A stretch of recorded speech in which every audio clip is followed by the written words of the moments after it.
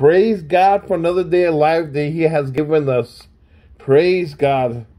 And it's great to see you all again, all my brothers and sisters in Christ, all my friends, all my followers. This Evangelist Tino Bernal Power Faith Ministry. Daily word for today. If you have your Bibles, please open your Bibles to Psalms chapter 145, verse 17 through 21. The Lord is righteous in all his ways and holy in all his works.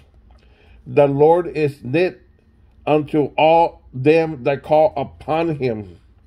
Knit means he's near. The Lord is near unto all them that call upon him, to all that call upon him in truth. He will fulfill the desire of them that fear him. He also will hear their cry and will save them. The Lord preserve all them that love him, but all the wicked will be destroyed.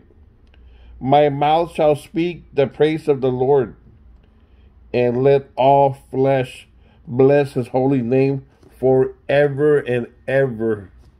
Praise God. Well, guys, this is the daily word for today. Don't forget, read your Bibles, pray. Praise Him all day for all the great things He has done for us. Until next time, God bless you and have a beautiful day. Amen.